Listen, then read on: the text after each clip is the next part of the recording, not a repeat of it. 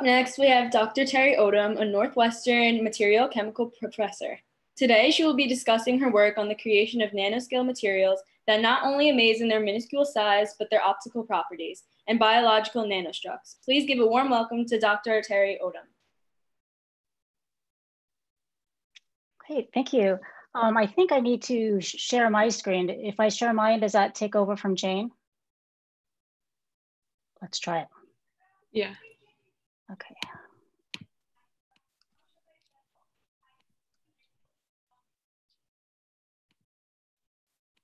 Okay, awesome.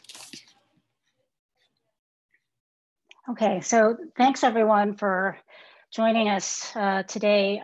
I'm always amazed at these, um, how dedicated you students are to having um, learning experiences over the weekend. I think the last time that I, I participated in this uh, amazing discussion, it was on a Sunday right before Memorial Day.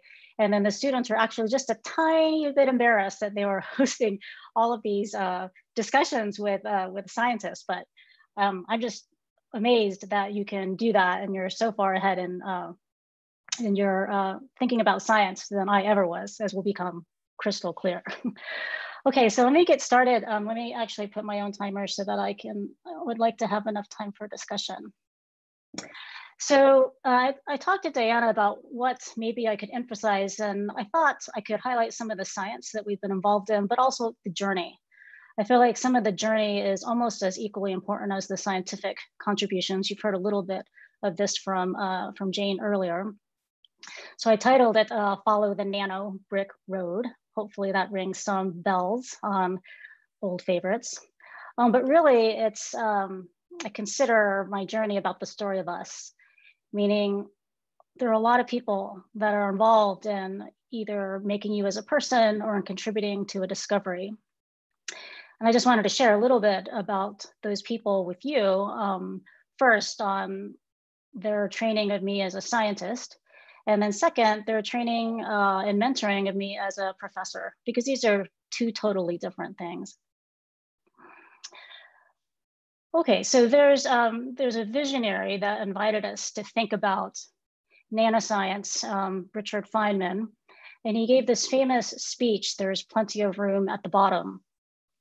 And he says, people tell me about miniaturization and how far it has progressed today. They tell me about electric motors that are the size of the nail on your small finger. And there's a device on the market, they tell me, by which you can write the Lord's Prayer on the head of a pin. But that's nothing. That's the most primitive, halting step in the direction I intend to discuss. It is a staggeringly small world that is below. And in the year 2000, when they look back at this age, they will wonder why it was not until the year 1960 that anybody began seriously to move in this direction. Why cannot we write the entire 24 volumes of the Encyclopedia Britannica on the head of a pen? And part of the answer to that, of course, is what uh, the previous speaker already introduced to us. We needed to be able to manipulate atoms and molecules one by one at the nanometer scale. But also what was interesting about 1960, and I'll talk about this uh, towards the end of the talk, is that this is when the, the laser was invented. And so the laser um, is, is an amazing uh, uh, light amplified stimulated emission of radiation, but nobody knew what to do with it when it was invented. So it was uh, a solution uh, looking for a problem. But now lasers are, of course, ubiquitous, and we can't imagine modern life or modern communications without them. So I wanted to give some historical context to the development of nanoscience and nanotechnology. So around in the year 400, the Romans um, and their artisans uh, produced this uh, beautiful cup, which is called the Lycurgus cup. And if you look at it on your desktop, you're going to see this, um, uh, uh the light looks green as it's reflected. If you put a light bulb inside, it looks red. So that was interesting. Why do you get two different colors depending upon where the direction of light is? And then in 1856, Michael Faraday, who's a famous British scientist, was interested in a concept called finely divided gold, and what we, uh, which we now call as uh, nanoparticles. But he kept notebooks of this, as you can see in these uh, boxes. And he was trying to understand uh, what these structures looked like, but the tools were not yet developed. Okay, and then we go to 1959, which was uh, Feynman's famous talk. And then in 1986, the Nobel Prize was awarded for two tools. One of them you've already heard about, scanning tunneling microscopy, which is the top image, to be able to manipulate atoms one by one. And, and then the manipulation of the atoms in, in this way on a metal surface, they were able to create these uh, what are called quantum corrals, standing waves of electrons. And in the bottom image, uh, the second uh, instrument that received the Nobel Prize in 1986 was the transmission electron microscope. So using electrons to image um, materials. And it's these types of materials, it's an alloy of silver and gold that actually are from the composition of this cup. So it wasn't until a long time later that we really understood uh, what was um, contributing to these beautiful colors. In 1996, the Nobel Prize was awarded for the discovery of C60, Buckminster fullerene. And in the year 2000, um, for the United States, Bill Clinton, uh, President Bill Clinton launched the National Nanotechnology, Nanotechnology Initiative, which provided dedicated funds to the development of the nanoscale tools and materials. In 2007, the Nobel Prize was given for giant magneto uh, resistance. This is again related to some of these magnetic properties that was introduced earlier. And then in 2008, a new type of prize uh, was introduced called the, the Kavli Prize. Um, the founder of this prize was interested in highlighting modern uh, advances. And one of those advances areas are in nanoscience. And so the two materials or two structures that were first awarded the, the Kavli Prize is for semiconducting uh, quantum dots, such you can see here, it's taken by a transmission electron micrograph. And again, these materials are in um, some OLED uh, sort of uh, light emitting diode displays that you can buy from Samsung and LG today. And in the bottom image is a carbon nanotube, um, and you can resolve the atomic structure using scanning tunneling microscopy. So the idea of the, the tools and the materials all developing in tandem, it's really uh, an exquisite type of dance.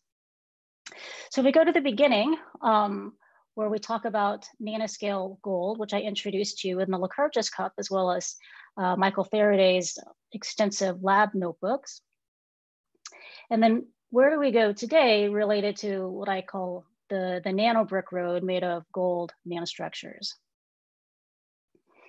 Okay, but we have to go back sort of to the very beginnings of it all. And um, unlike you who are have identified that you're interested in STEM and you're you want to make connections with um, world leaders in, in these areas, I was not that.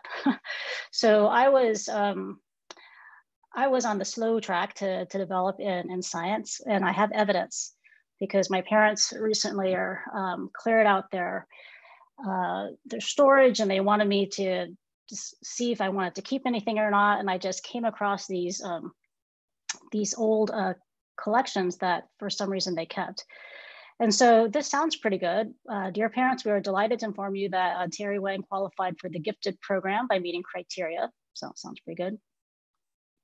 But then it's an asterisk, so it's only admitted on a, on a trial basis. and there was probably really good reason for this. So um, I can read this here based on the student's involvement.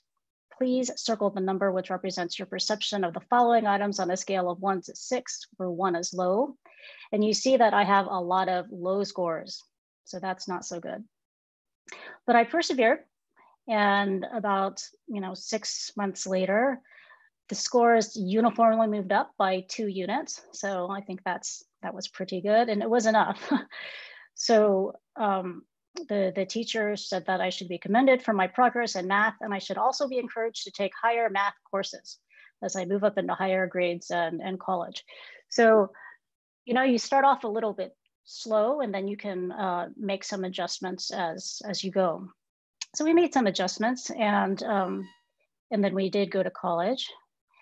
And college was a very uh, formative time in my life um, it was really a time that uh, introduced me to science um, and moreover to multidisciplinary science meaning all of these different fields all together were going to be really important into making me into the scientist who I've become today. So I went to school at Stanford University, and probably the most influential person there was my uh, then boyfriend, now husband. Um, we were married in college.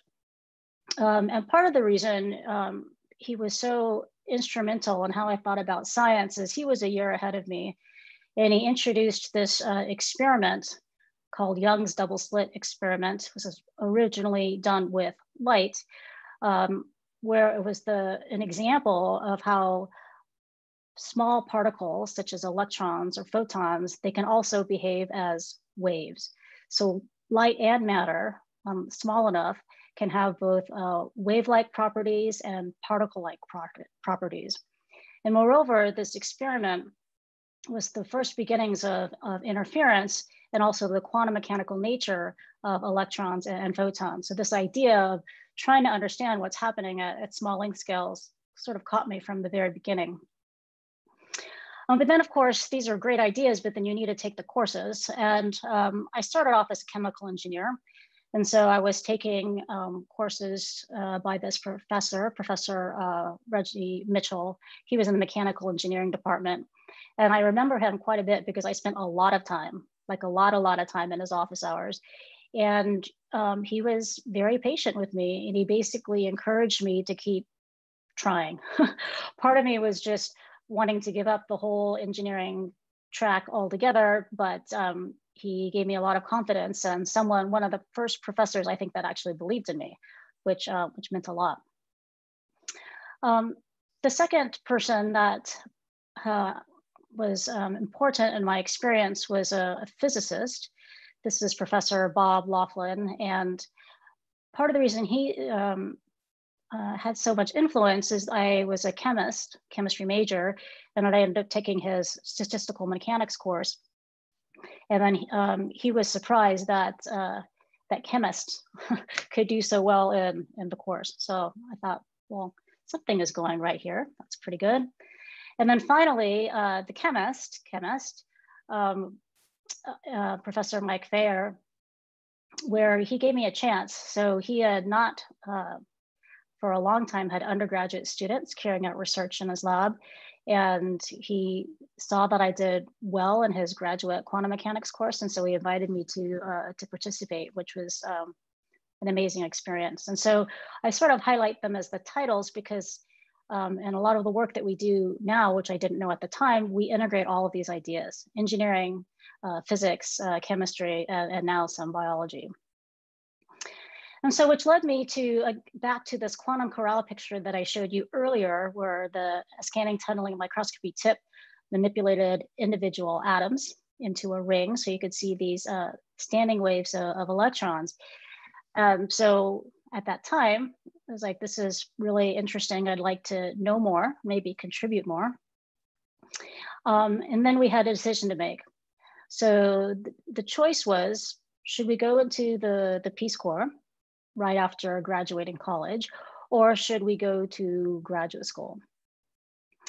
Um, either one would have been a, a very good option for us. What helped us make the decision was that this was one of the times in recent memories that we the government shut down.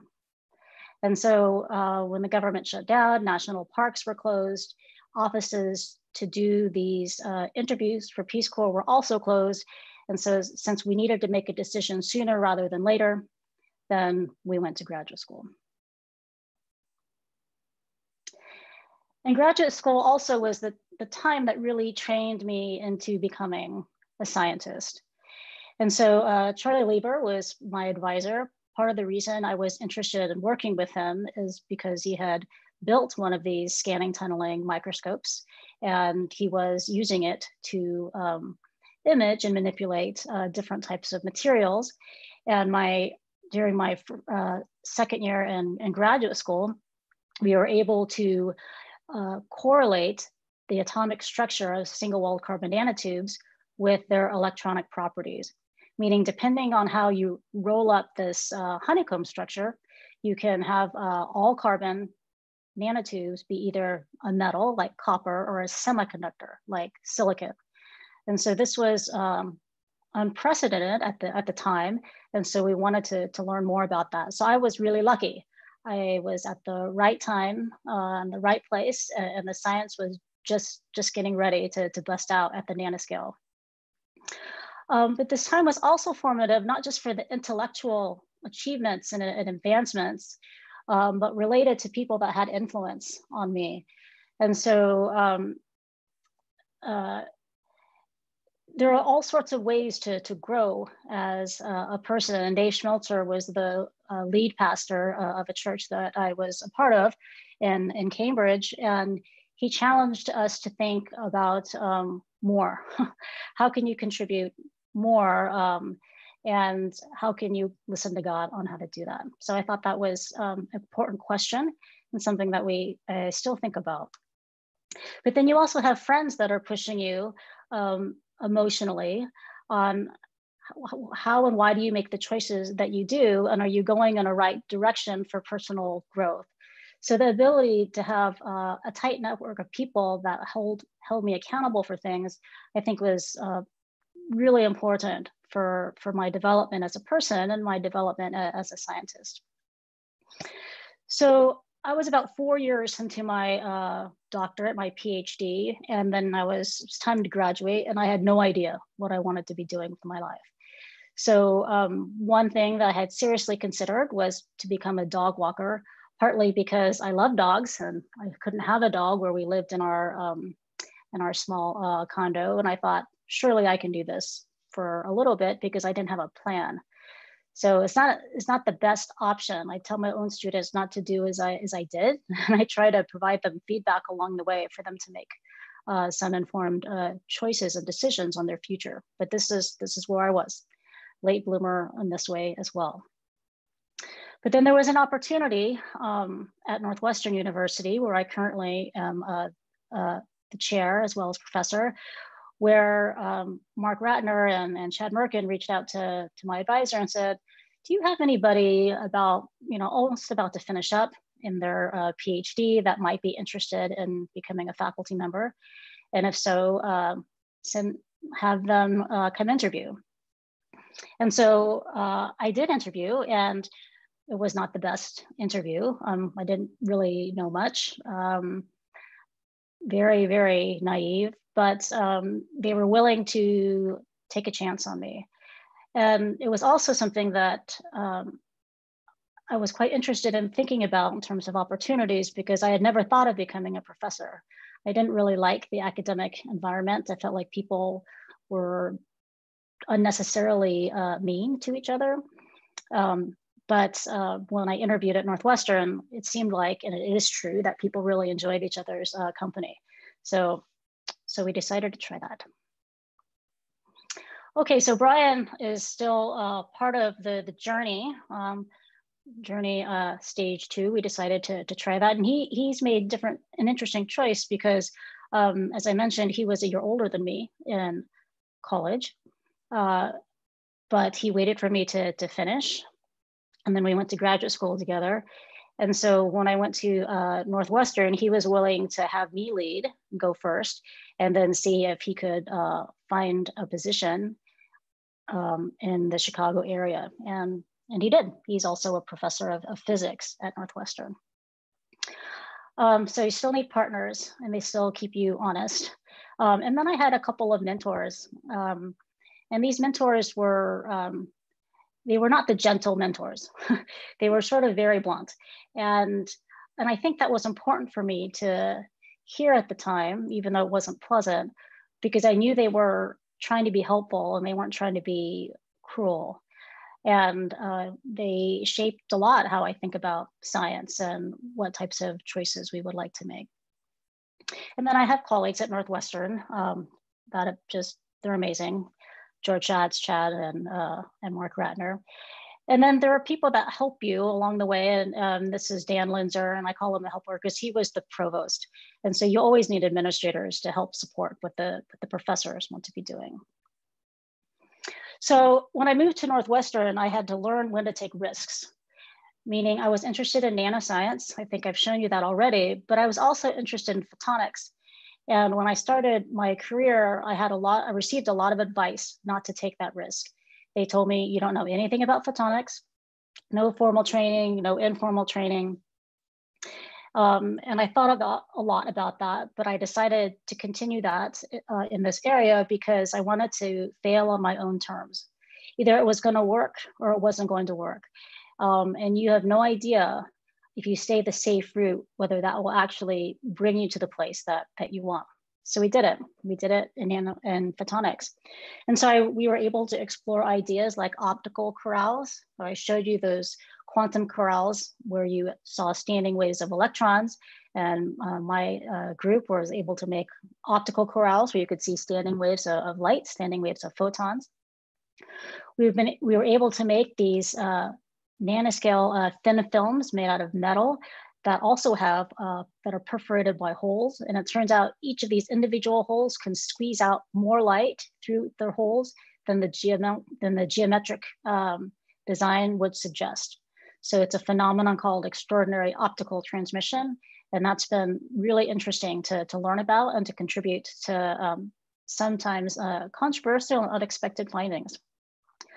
Um, and this was the image that I showed uh, at the opening slide. We've developed a range of nanofabrication techniques to make three-dimensional structures that can also be functional. And so we have these uh, nanoscale uh, pyramids uh, that you can organize in this uh, really nice uh, array. These structures can also be used as um, particles for imaging and identifying cancer cells. Okay, and then we moved on to uh, what I call Nano uh, 2.0. So we had new additions. This is uh, my son, Bren Odom, when he was uh, just a baby and just a couple of months ago, he's almost eight. Um, and so the family expanded. Similarly, the group family uh, expanded. We had a range of students uh, from applied physics to material science and engineering to biological sciences to, to chemistry a range of students that are contributing to now interdisciplinary research. Um, and it's been a fantastic experience. So we can make structures with higher symmetries that can exist in, in nature for light trapping and solar cell devices. We can make these beautiful nanostars that can be used as um, uh, therapeutic uh, agents as well as a diagnostic particle. And we can also make these types of three-dimensional nanowrinkles that can be used for um, anti-biofouling as well as superhydrophobic uh, surfaces. And all of these types of structures are, are, possible because you have teams of people that are working together to solve these very complex problems. Okay, so before I, I finish, I just want to give you two examples of some of the work that we have done with gold because we started out the, the talk with gold and also related to uh, collaborations that we've done. So some of our most meaningful work has been done as part of a team. Uh, and usually the collaborator brings in expertise to solve problems that neither they nor we could solve by ourselves. And these are my favorite types of problems to work on. They're usually complex and they're usually quite time consuming. But overall, um, these are the ones that, that uh, were the most inspiring. So we, have been working with gold uh, particles and um, using them in different aspects in nanomedicine whether it's to, um, say, target uh, tumors and some type of precision um, therapeutics, or um, like in this image here, to develop um, magnetic resonance imaging probes. And so we worked with um, Professor uh, Tom Meade at Northwestern University on this collaborative project, trying to determine whether if we attach um, DNA with gadolinium chelates. So the gadolinium is responsible for giving you the signal in the uh, MRI. If we attach them to different nanostructures, do we get a, a boost in the signal? So you, do you get higher contrast and more quickly if you were to use these in, in the clinic? And so what's interesting is that indeed you can see um, at, for example, at the one, 1.5 Tesla, that you have a very large enhancement if you put this um, molecular chelate on the gold star, which is the primary structure that we work with, versus if you leave them just on, on spheres. And so the structure and the shape make a big difference in the design of new types of materials. And similarly, this uh, overall signal is represents an 18-fold enhancement over what you use, uh, or if you go to the doctors and you use ProHance, um, what are in conventional uh, uh MRIs with contrast. So this was a very uh, fun project, and, and we we learned a lot, both fundamentally and and in the potential downstream applications. The other area that I wanted to highlight um, is uh, an engineering project so the MRI contrast agents are more of a scientific project, collaborative project, but we've also been interested in, in lasers. I mentioned that this year is the 60th anniversary of the invention of, the laser. And there are a range of different types of lasers that you can see here on the left hand side of the slide. This is a chemical laser. It's very, very large that can fit into a 747, um, all the way down to uh, these uh, nanoscale lasers that are trying to be as small, for example, as a virus particle. But that's really, really difficult to do. And the way that um, the diffraction limit works is you shouldn't be able to do it. So the smallest lasers you should be able to make are about a micron. Uh, but in some work that we've done related to um, nanoscale lasers, you can see that um, this is what a traditional uh, lasing cavity looks like, but this uh, Scanning electron micrograph is what our uh, nanoparticle cavities look like. These are super tiny, super tiny particles. And they trap the light and they localize the fields, as you can see in this cartoon, just around the, the particle surface. And so in this way, we can um, achieve the world's smallest lasers. And then we can also control the direction. So in the traditional case, the, the direction is dictated by, you know, the perpendicular to the, the mirrors. But in this unconventional case that we have, we don't have any mirrors.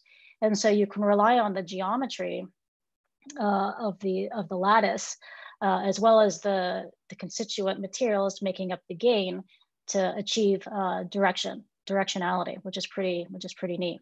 And moreover, if you introduce, uh, put this in a microfluidic channel, you can control the, the wavelength of light that you get out just by keeping the, the nanoparticle structure the same. So it's a very um, interesting engineering project, but the fundamentals based on how the light is localized to around the particle uh, edges is really important. Okay, and then um, I've been also interested in, in using the expertise that we have for the, the public good. I had an opportunity to write uh, op-eds along these lines, and I was also teaching a, a, course at the time. And so we wrote an op-ed on um, why altering the powdered donuts and the powder donuts and Dunkin' Donuts would be bad for innovation. And so we had discussed this with my uh, with the students in this class, and they were freshmen. And this came in the last week of class. And I said, look, you are now that resident experts in, in nano. Would you be interested in writing such an op-ed with me? And so we were able to, was able to train the students in critical thinking skills and scientific principles. And, um, and they agreed to, they would love to come help. And so we were able to publish this piece, uh, which was pretty neat, um, and uh, with three students uh, contributing to the bulk of the, of the work. I was really proud of them for being able to, you know, they were freshmen, but they were resident experts and they had something to say. And then just uh, going to 2020, where there are new leadership roles as you evolve in your career. So I'm the chair of the Department of Chemistry at Northwestern University. Um, as you know, all in, in not being in school yet, and maybe some schools soon, is that it's been an experience um, related to the COVID 19 pandemic. And, um, and it's been also an experience in trying to lead and provide some stability to organizations uh, in this time. So um, it's been hard, but it's also been rewarding on, on leading a, a very prestigious uh, department. And also in 2020, I assumed the role of chief editor at uh, one of the prestigious journals in nanoscience. It's called Nanoletters. And we also received a, a shout out from um, sort of our competitor, but I feel like we're all part of this uh, publishing community together to be able to um, to continue to do uh, the best and publish the best work in nanoscience. And so uh, I just wanted to finish up by saying, why, why do you do what you do? Um, this was a question that I thought about I've, I've thought about at some point for days, um, but it was part of an exercise uh, we did earlier. And there was this, uh, this, um, this beautiful song by Debbie uh, Friedman. And I think at the end of the day, um, playing the long game of everything that I've said yes to or no to, or made adjustments re related to that was to, you know, to be a blessing, to, to give, to make people better around me, to, to change them, elevate them um, as part of a community. And that's what I've been uh, trying to do um, in my time here. Okay, so I will stop there and I hope, I, I know I only left like two minutes for questions, but hopefully that'll be okay. Thank you so much, Dr. Odom. We really enjoyed your listening about your journey through nanotech. Does anyone have any questions? Oh, let me check the YouTube.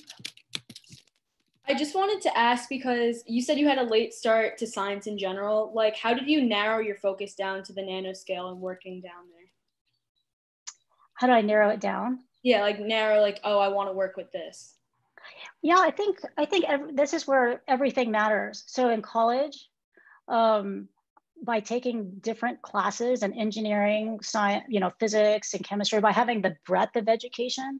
And, and then the timing was just perfect because nanoscience is the integration of five to eight disciplines. And so it was, um, I wouldn't say it was uh, happenstance, but the, the, timing was just good. So when I've talked to students about what they might want to be doing with their lives, the, the ability to, um, to be as broad as possible in both science and engineering, as well as in more inclusive in your science. So like getting to know social scientists and how they think about things. I think that's really important because the, the human aspects of nanoscience and the times that you're living in now, you know, it's, you can't escape it.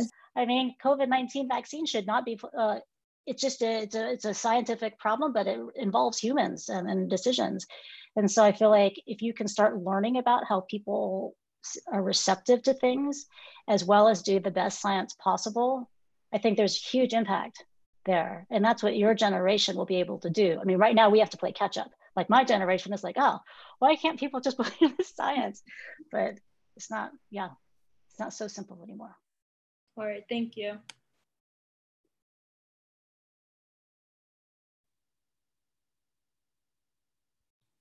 Oh, there's a question in the chat oh. about Stanford.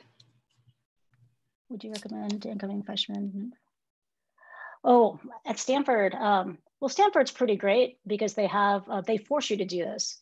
Like your, your first year, you're in this mixed dorm and you have this great experience and you become very average, right? You think you're mostly pretty okay by the time you get there, but then you find out you're just really average.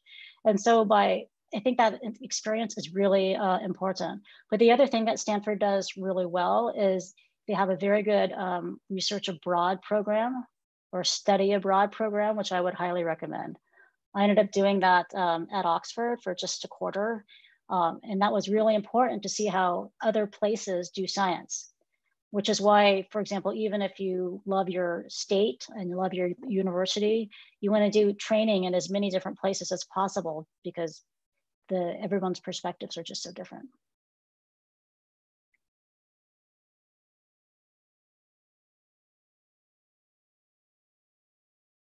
All right, well, if there's no more questions, someone ask if there is a last minute question, because otherwise we will move on. Well, thanks so much for having me. It's good to see, thank you, much, see so, you. thank you so much for coming. Thank you so much, Dr. Odom.